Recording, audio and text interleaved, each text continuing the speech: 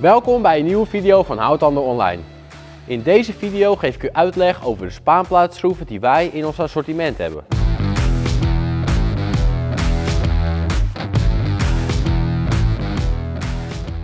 Een spaanplaatsschroef is gemaakt van staal en wordt daarna verzonken. Hierdoor zijn de schroeven ijzersterk.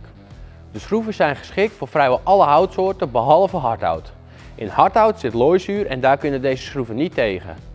Voor hardhout gebruiken wij de vlonderschroeven of de RVS schroeven. Deze schroeven hebben een torxkop. Deze kop zorgt voor een optimale krachtoverbrenging en extra grip. Door de torx aansluiting kunnen deze schroeven gemakkelijk en snel verwerkt worden.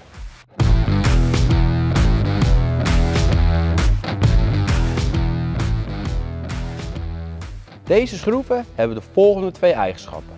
Als eerste hebben ze een deeldraad. Het deeldraad zorgt ervoor dat het hout zich strak tegen elkaar aantrekt. En als tweede hebben ze een snijpunt. Dit zorgt ervoor dat zelfs het dunste hout niet splijt. Verder is volboren in zacht hout met een snijpunt niet meer nodig.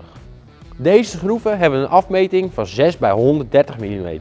Deze worden geleverd per doos van 100 stuks. Er wordt standaard een bijbehorend torxbitje meegeleverd. Wilt u nou weten welke lengte schroef u nodig heeft? Vermenigvuldig dan de dikte van het te bevestigen materiaal maal 2,5.